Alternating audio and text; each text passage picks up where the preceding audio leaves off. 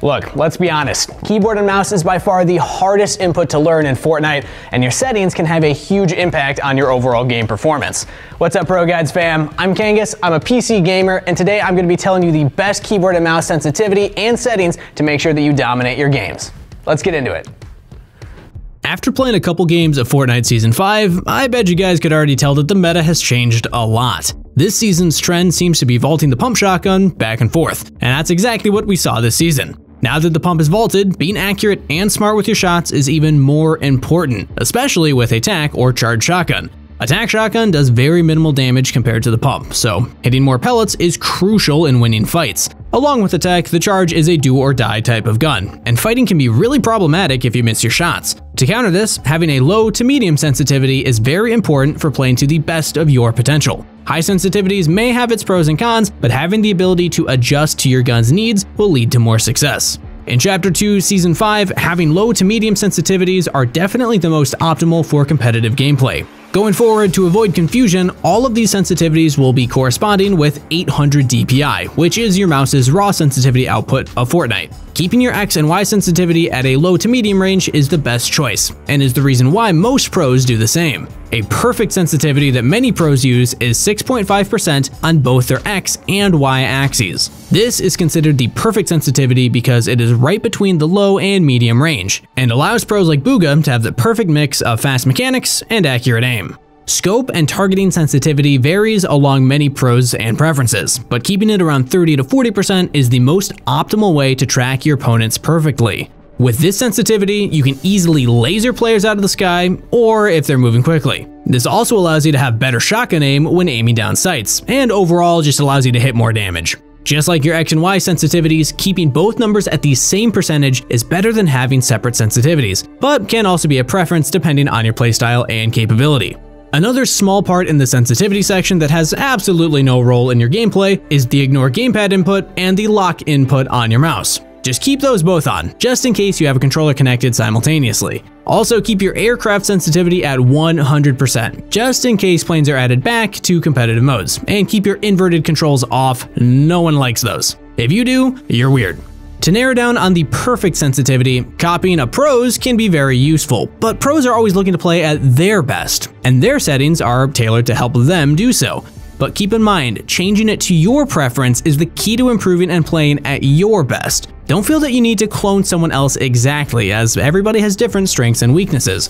Make sure to use all of our tips and recommendations to help you find the perfect sensitivity and utilize Pro Guides to the fullest.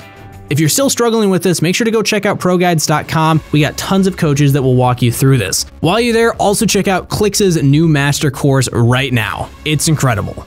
All right, back to the video. Having the perfect keybinds is something that a lot of players misunderstand when they first start playing on keyboard and mouse. A huge mistake I see a lot of players make is they use keybinds that are just too close to each other on the keyboard, rather than keybinds that are fully optimal. When having keybinds that are really close to each other, it's likely that you'll have the same finger accidentally press them all at one point or another in a really clutch moment. This may seem silly, but it definitely limits the way you edit and your movement while building. To have the perfect keybinds, use keybinds that allow you to move around and build at the same time. This allows your mechanical skill to be at its fullest and make sure that you'll never lose momentum when engaging in a build heavy fight. As of now, the best way that I find to have optimal keybinds is by putting your walls and ramps on your side mouse buttons. This allows you to have more space on your keyboard and help your fingers move across your keyboard smoothly. The reasons most pros put their wall and ramp on their mouse button is because this allows you to jump, move around, crouch, and pull out your pickaxe while building. And depending on your edit bind, put your floor to C or F and your cone to left shift. Along with this, changing your edit bind to E or F is definitely the move, as those two are easily reachable. Put your trap bind to T as it's the closest bind right next to your reload. Along with this, change your ping bind to X as you'll still have an extra bind left to use. After just playing a couple hours on these binds, you'll probably notice a huge difference in how easily you can build, strafe, and edit simultaneously. You just gotta get used to the different controls. For an easier way to copy down these settings, pause right now, look at the image, and then click play when you're ready. Your weapon keybinds don't usually affect you too much, but always try to switch off the number keys. After copying down these binds, you have many keybinds that you can still use. Like normal, keeping your pickaxe bound to 1 is fine, and you can choose to use 2, 3, 4, and 5 for your next slots. However, you still have a lot of extra keybinds, so put your last slot at V and your fourth slot at G. This allows you to press every bind efficiently and helps you arrange your weapons in any way of importance that you want. Just remember though, further in the video, we will be showing you guys some bind tips that remove your scroll wheel completely. So make sure you're used to pressing weapon binds instead of scrolling. Weapon binds don't affect you too much, and you can definitely adjust each one to your preferences as long as you don't need to scroll. Along with the normal keybinds, there are many extra keybinds you need to use for both competitive and creative gameplay. First up is the best advantage you can have over a controller player, scroll wheel reset. Say that five times fast, I bet you can't. Scroll wheel reset is the fastest way to reset your builds and allows you to reset multiple builds by just scrolling down. To use scroll wheel reset, use your secondary keybind for your building edit and change it to the scroll wheel down or up. For now, I recommend scroll wheel down. After, just change your secondary bind for reset building edit to scroll wheel down as well, and that's it. For a more in-depth video on using scroll wheel reset, check out the video in the description down below.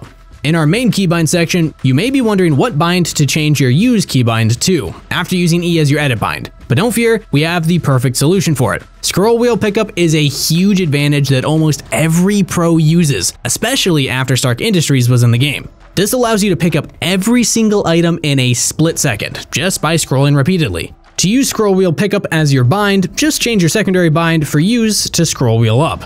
After doing that, just remember to keep scrolling up when 50-50 in a chest or battling your teammate and stealing all their loot. As we move backwards to our settings tab, there's many settings that you need to enable. First off, turn on sprint by default as it allows you to sprint at all times and more importantly allows your hand to move freely.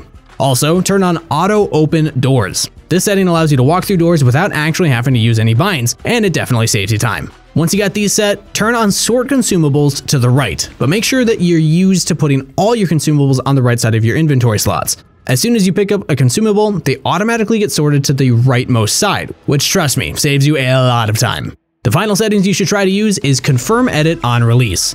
This setting is niche and fully a preference, and can mess with your crosshair placement if used incorrectly. Edit on release saves time, but can also be tricky to learn at first, so take your time with this one. Well, that's it for the video. If you try out these key bindings and you're still having some trouble, be patient. It's a lot to learn and a lot to get used to, especially if you're coming over from controller to keyboard and mouse. If you like the video, make sure to like, comment, and subscribe. We're so close to a million subs, and if we get there, I promise you we'll do the story of Keith Allen. It's coming, so share with your family, share with your friends, and I'll see you in the next one.